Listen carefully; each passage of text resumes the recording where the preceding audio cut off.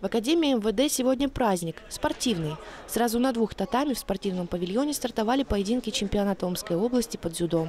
Из 80 дзюдоистов выбирают 14 сильнейших спортсменов региона, среди мужчин и женщин в разных весовых категориях.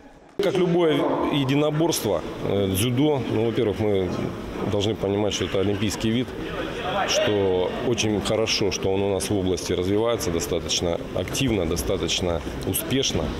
Ну, вот э, говорил я с Юрием Васильевичем Шпаком, на следующий год у нас в сентябре будет чемпионат Сибирского федерального округа проводиться в Омске, то есть как бы в календаре э, всероссийском эти соревнования обозначены. То есть это говорит о том, что дзюдо в Омске и развивается. И э, есть такая положительная динамика, которая связана именно с проведением соревнований. Будут соревнования, будут, будут дети приходить в этот вид спорта.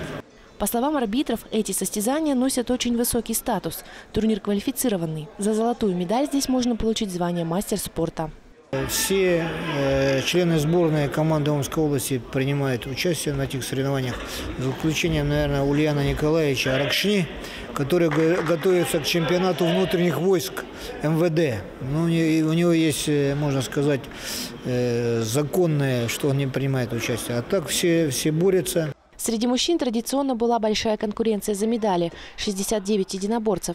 Самой небольшой весовой категорией в соревнованиях была 60 килограммов. Всего на чемпионате было представлено 7 весов, включая категорию 100+. В самой небольшой весовой категории схватку выиграл Сылдыс Монгуш. В весе 66 килограммов технически обошел соперников чемпион Омской области Джамшет Абдурахмонов.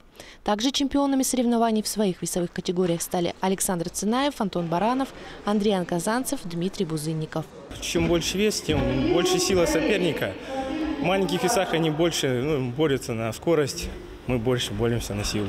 Скажите, ну а вот то, что э, силу нужно больше прикладывать, удается какие-то интересные приемы, может быть, проводить? Да, есть намного как бы, интересных приемов, которые в легком весе не получаются. Они выполняют за счет сильных рук и спины, нежели как в легком весе за счет ног. Конкурировать очень интересно. Допустим, у меня в весе два мастера спорта. Очень тяжело как бы чемпионат области сейчас по мужчинам очень тяжело уже бороться.